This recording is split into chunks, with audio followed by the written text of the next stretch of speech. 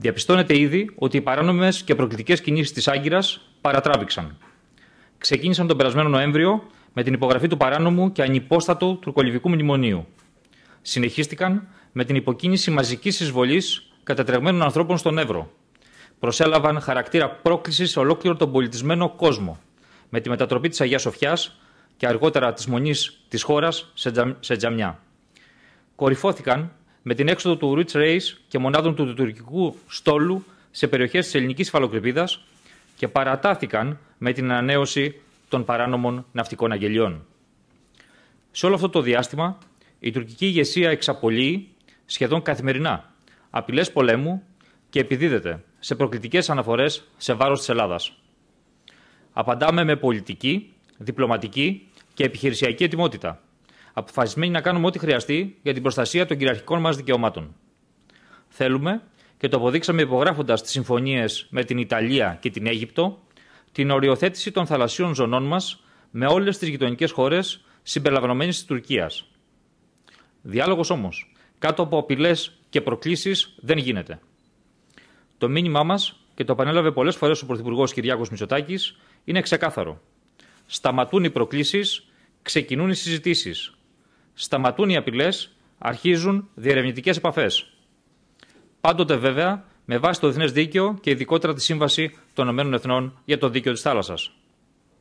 Έτσι ώστε είτε να βρούμε λύση στη μόνη εκκρεμότητα που είναι η οριοθέτηση θαλασσίων ζωνών, είτε να συντάξουμε συνυποσχετικό για την αποκοινού παραπομπή του θέματος στο Διεθνές Δικαστήριο της Χάγης.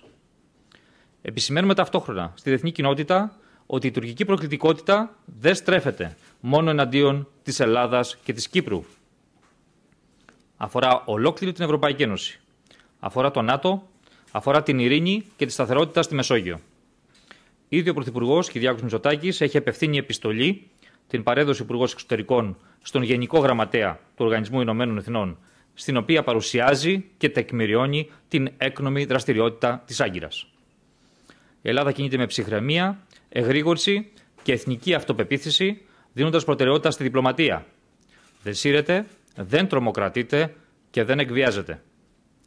Ταυτόχρονα είμαστε σε επαφή με φίλες χώρες προκειμένου να ενισχύσουμε τον εξοπλισμό των ενόπλων μας δυνάμεων. Από την πρώτη στιγμή, η κυβέρνηση δρομολόγησε ένα συνεκτικό σχέδιο για τη στήριξη της οικονομίας ύψους 24 δισεκατομμυρίων ευρώ από εθνικά και ευρωπαϊκά κονδύλια. Και όπως έχει τονίσει πολλές φορές ο Πρωθυπουργός, έχουμε φυλάξει εφεδρείες για να στηρίξουμε την κοινωνία το δύσκολο φθινόπωρο και το χειμώνα. Ξέρουμε, όπως τόνισε, ότι έχουμε δύσκολους μήνες μπροστά μας και είμαστε έτοιμοι για να στηρίξουμε τόσο τις επιχειρήσεις όσο και τα νοικοκυριά που υφίστανται τις οικονομικές συνέπειες της πανδημίας. Ήδη, με σχέδιο νόμου που κατέθηκε στη Βουλή, ανάμεσα στα άλλα, επεκτείνεται η υποχρεωτική μείωση ενοικίων σε συγκεκριμένους κλάδους για ένα μήνα επεκτείνεται η δυνατότητα αναστολής συμβάσεων εργασίας και για τον Οκτώβριο, καθώς και η εφαρμογή του προγράμματος Συνεργασία μέχρι τέλος του έτους. Λαμβάνεται ειδική πρόνοια για τους εποχικά εργαζόμενους. Προβλέπεται τρίτος κύκλος επιστρεπτέας προκαταβολής πάνω από ένα δισεκατομμύριο ευρώ, που θα καλύπτει ακόμη και επιχειρήσεις χωρίς ταμιακή μηχανή. Για την υλοποίηση των μέτρων που έχει πάρει η κυβέρνηση, προβλέπεται αύξηση του τακτικού προπολογισμού κατά 6 δισεκατομμύρια ευρώ.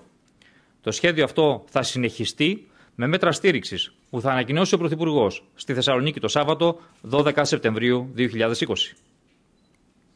Με τη σιγουριά ότι θα αντιμετωπίσουμε το υγειονομικό σκέλος της πανδημίας και ότι το 2021 θα έχουμε αφήσει οριστικά πίσω μας την οικονομική κρίση που αυτή προκάλεσε. Ώστε τα θεμέλια που θα έχουμε βάλει να στηρίξουν μια πολύ ουσιαστική και ρωμαλαία ανάπτυξη.